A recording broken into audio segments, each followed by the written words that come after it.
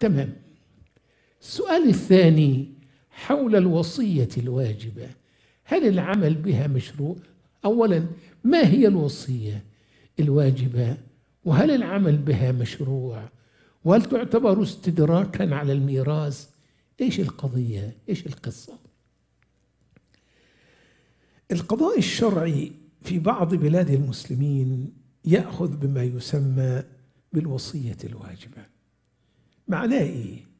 اقتطاع جزء من التركة يعطى للأحفاد باسم الوصية الواجبة الوصية الواجبة وصية أوجبها القانون لصنف معين من الأقارب حرموا من الميراث لوجود حاجب لهم بمقدار معين وبشروط معينة تنفذ بحكم القانون سواء أنشأها المورث أم لم ينشئها فهو واجب وجوبا قانونيا. إيش صفوة القول في الوصية الواجبة؟ قالوا أو قال القانون الذي يعني الراسم لها الوصية تجب لأهل الطبقة الأولى من أولاد البنات الأحفاد من البنات الطبقة الأولى. يعني أولاد البنت ذكورا كانوا أو إناثا ولأولاد الأبناء وإن نزلت طبقاتهم.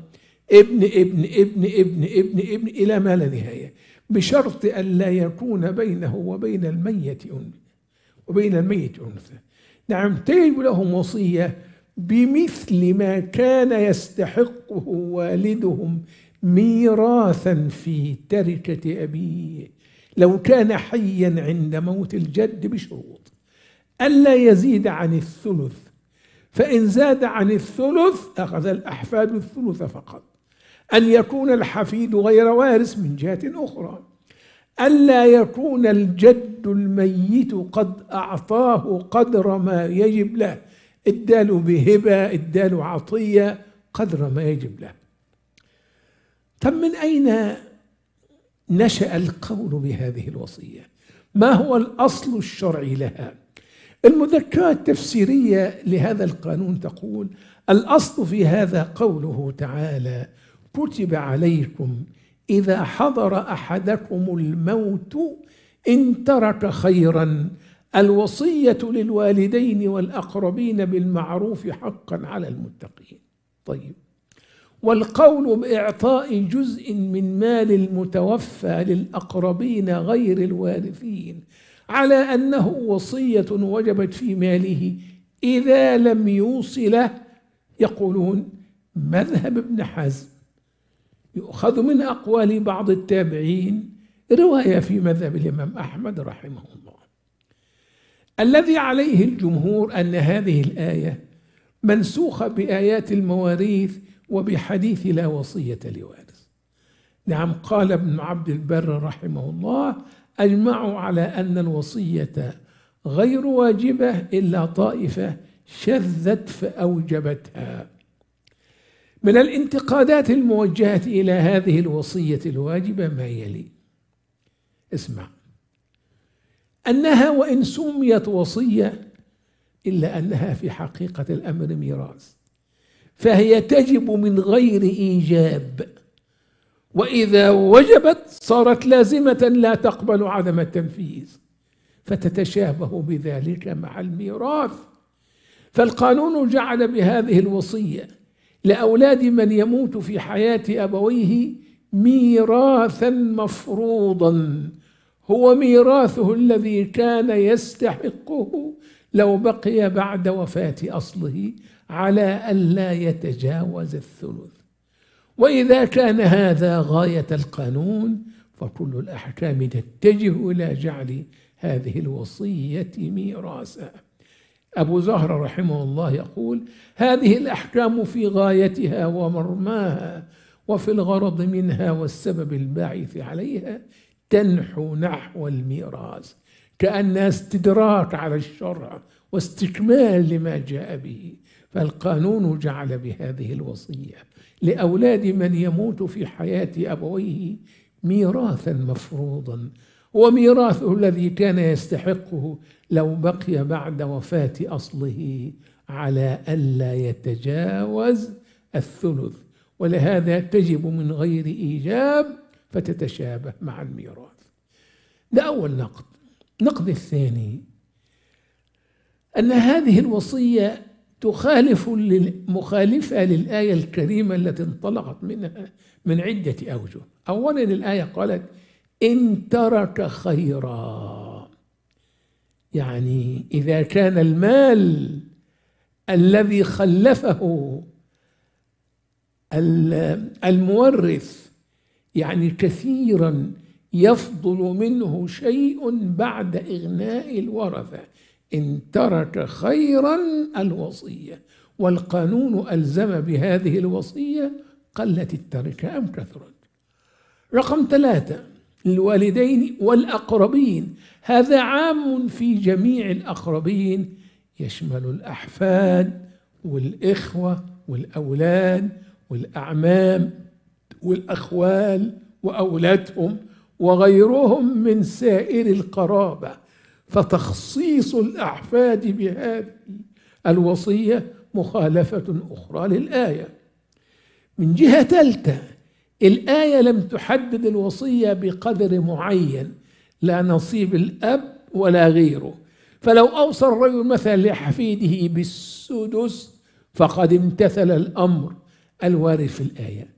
غير أن القانون لا يكتفي بهذا بل يكمل له نصيب أبيه الذي لو فرض أنه كان حيا لأخذ بشرط ألا يزيد على الثلث هذه مخالفة ثالثة. بالمناسبة ابن حزم الذي يحتج به وينطلق من اجتهاده في هذه المسألة لا يخص الوصية بالأحفاد كما خصها قانون الوصية الواجبة بل تكون عنده لجميع الأقارب غير الوارثين ويوجب على الموصي أن يوصي لثلاثة من أقاربه على الأقل لأن هذا هو أقل الجمع. ثم لم يحدد الجزء من المال الموصى به بمقدار معين بل بما يشاء الميت. فإن لم يحدد فالورثة هم الذين يحددون أو الوصي هم الذين يحددون مقدار ما يخرجونه من المال للأقارب. يقول رحمه الله فمن مات ولم يوصي ففرض أن يتصدق عنه بما تيسر ولا بد لأن فرض الوصية واجب كما أوردنا. فصح أنه قد وجب أن يخرج شيء من ماله بعد الموت. فإذ ذلك كذلك فقد سقط ملكه عما وجب إخراجه من ماله. ولا حد في ذلك إلا ما رآه الورثة أو الوصي مما لا إجحاف فيه على الورثة. إلى أن قال وفرض على كل مسلم أن يوصي لقرابته الذين لا يرثون إما لرق وإما لكفر وإما لأن هناك من يحجبهم عن الميراث أو لأنهم لا يرثون فيوصي لهم بما طابت به نفس. انتبهوا لا حد في ذلك. فإن لم يفعل أعطوا ولا بد ما رآه الورثة أو الوصي. أزيدكم مخالفة أخرى. لماذا يراعي القانون الأحفاد ولا يراعي الأجداد والجدات غير الوارثين مع أنهم في الغالب أشد حاجة ويكونون مرضى وعاجزين عن العمل ويحتاجون إلى علاج ونفقات فلماذا يعطي القانون بنت الابن ولا يعطي أم الأب مثلا؟ سبب تشريع القانون آه كما تقول المذكرة التفسيرية تكرر الشكوى عن حالات موت الأب في حياة أبيه.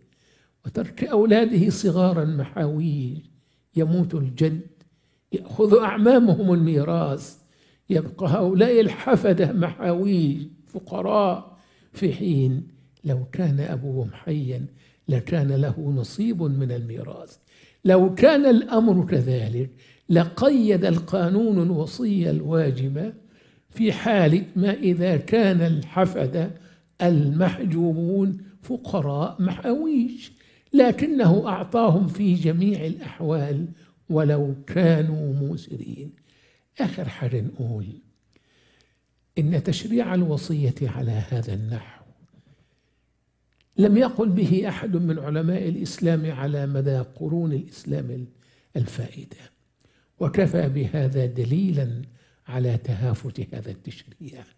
فإن هذه الأمة كما أخبر نبينا صلى الله عليه وسلم قائلا إن الله لا يجمع أمتي على ضلالة رواه الترمذي صححه الألباني في صحيح الترمذي. فلو كانت هذه الوصية بهذا التفصيل حقا لما أغفلت الأمة بأسرها العمل بها في مختلف أعصارها وأمصارها حتى يأتي هؤلاء المتأخرون لينصفوا من ظلمه الأئمة. والعلماء والمسلمون على مدار قرون الإسلام المتطاولة. فالذي نراه ضعف الأدلة التي انطلقت منها الوصية الواجبة. لكن لكن إن حكم بها حاكم أو قضى بها قاض تقوت بذلك حكم الحاكم. أو قضاء القاضي يرفع الخلاف في مسائل الاجتهاد. نصيحتنا للورثة أن يطيبوا عن طيب نفس أن يطيبوا هذا الجزء لأولاد أخيهم المتوفى في حياة أبيه برا بعقبه برا بأولاده وصلة لرحمه وابتغاء المثوبة من الله عز وجل. الحل أن نعلم الأغنياء أنه يجب عليهم أو يستحب أن يوصوا لأقاربهم الفقراء بجزء من مالهم. وإذا لم يوصي الميت فإن الورثة إذا كانوا أغنياء ينبغي أن يرضخوا وأن يعطوا الأحفاد أو غيرهم من الأقارب الفقراء جزءا من هذا المال يكون صدقة منهم وصلة لأرحامهم. والبر لا يبلى والذنب لا ينسى والديان لا يموت. وما نقص مال من صدقة والصدقه وصله الرحم تعمران الديار وتطيلان في الأعمار. تمام.